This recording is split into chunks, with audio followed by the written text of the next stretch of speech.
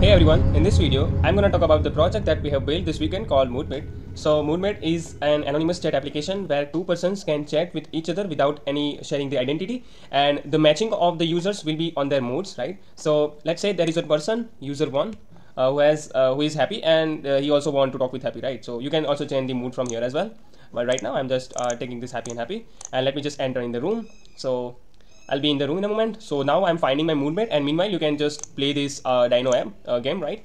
So now let me just uh, enter the another user with the same preference, right? So I'm happy and I want to talk with happy, right? So uh, this user will be matched to the uh, to the other user which has the like uh, who wants to talk with happy, right? So now let me just enter in the room and let's just wait. So you see now these users are now connected and now they can uh, talk with each other without like sharing their identity right? Uh, so now uh, let me just enter the another person with the same preference.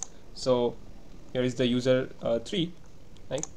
And now uh, this user will be in waiting room if there is no matching found right? So now this so these two users now communicate with each other and meanwhile this third user can like play this game right so let me just uh, leave the uh, leave this room right? So if uh, i leave this room then this user will find the uh, that existing user who is in the room in this room right? So let me just uh, like uh, leave this room. So now you see if the user one has leave the room and this user have, has found the matching person who is user two right? So that user will join in this room right? So based on this we can just like chat uh, the persons the different persons with either uh, having the matching their moods right? So you can just uh, change your mood from here as well. So yeah that's uh, that's it for this video. I hope you like this project. Yeah thank you